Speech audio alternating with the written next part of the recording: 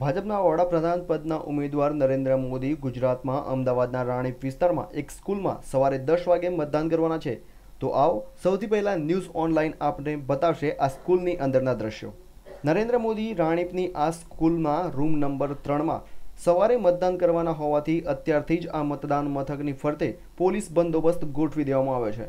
મતદાન મથકમાં કર્મચારીઓ પણ તડામાર તૈયારીઓ કરી રહ્યા છે. આ સિવાય આ મતદાન મથકમાં મતદારોને આકર્ષવા માટે આ ચૂંટણીમાં આદર્શ મતદાન મથક બનાવવા માટે ઇલેક્શન કમિશને પણ મહેનત કરી છે. મતદાર માટે ઠંડા પાણીની વ્યવસ્થા, શારીરિક ખોડખાપણવાળા લોકો માટે વ્હીલચેર પણ રાખવામાં આવશે. ગુજરાતમાં કુલ ચારસો સિત્તેરથી વધુ આદર્શ મતદાન મથક બનાવવામાં આવ્યા છે. કેમેરામેન ભાવિક પરમાર સાથે મિહિર દુધરેજિયા, ન્યૂઝ ઓનલાઈન, અમદાવાદ.